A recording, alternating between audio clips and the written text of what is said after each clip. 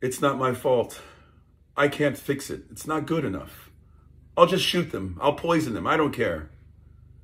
Even when you look away, they still feel pain.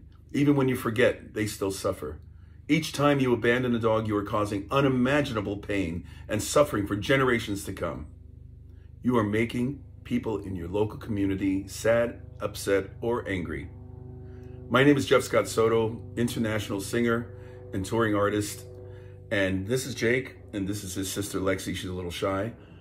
And we're here to tell you you can be part of the solution, not the problem. Neuter or spay your dog today. Take responsibility for your dog and puppies.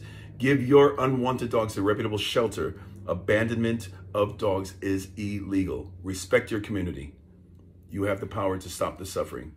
Visit www.streetheartsbg.com. Streets, because that's where a lot of these animals live, and they all have hearts.